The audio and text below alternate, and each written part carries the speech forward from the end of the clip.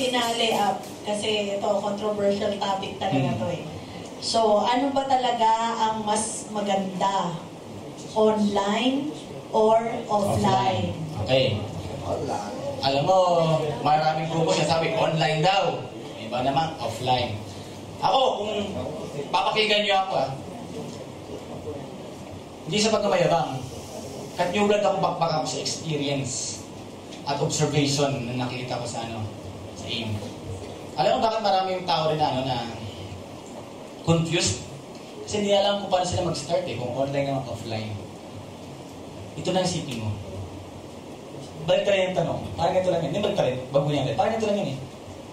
International or local? Yun lang yun eh. International or local? Para sa akin, you can choose both. Kalokohan yun. Ah. Lalo kasi ako sa Facebook na kami 100% online. Sila yun. Kung ginagawa nila, sila yun, huwag mong gayahin. Tayo, makinig kayo sa sa culture ng group natin. Kaya nahabol ko sila kasi may ginagawa ko na tama na gusto ko ipasa sa inyo. Bakit? Kung ako nga kumikita ng 1M per month through offline, sabi ko, huwag mo iwan ang offline kasi kaya mo kumita ng, ng million din per month. Ang sinasabi ko lang, magdagdag ka. Yan ang senaryo. O sige, maganda online. Marami na kapain sa abroad. Eh, kapitbahay mo, may sakit, mayaman, possible mag-active, ang daming contact, di mo rin-reputin? Alam nga naman, well, kamusta na? Kung may negosyo ko, ano ba yan?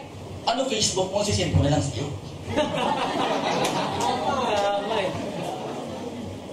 Gets nyo?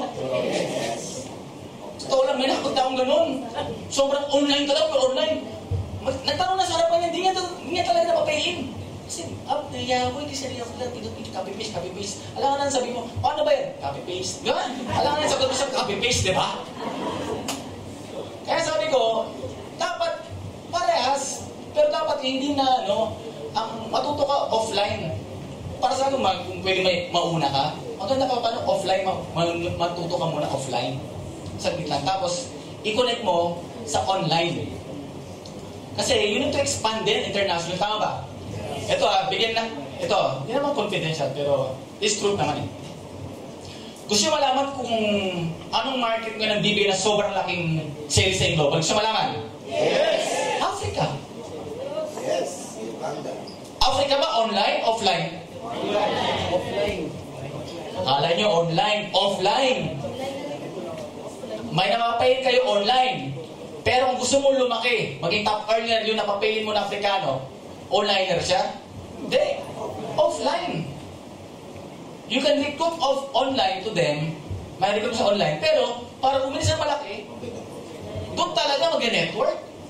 Tanungin mo kasi Doc Ed, si Pastor John, ako doon, si, si Sir Adrian, walang kung lum- lumaki doon na hindi tinutukan rin ng offline doon. Kaya may mga iba doon bumababa doon sa Africa.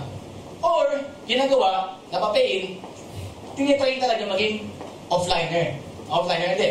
Magtuto mag-film.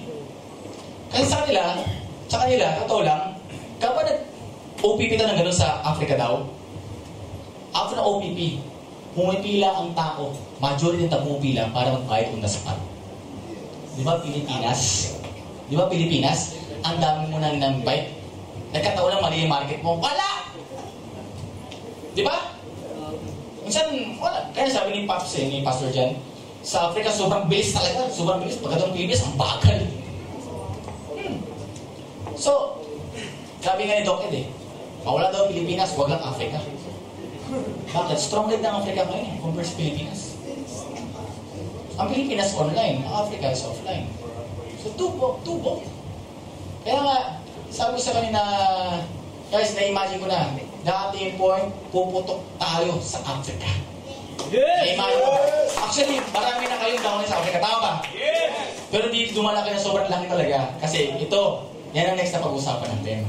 Exciting part. Tanong ko lang sa'yo, gusto ba lumaki grupo sa Africa?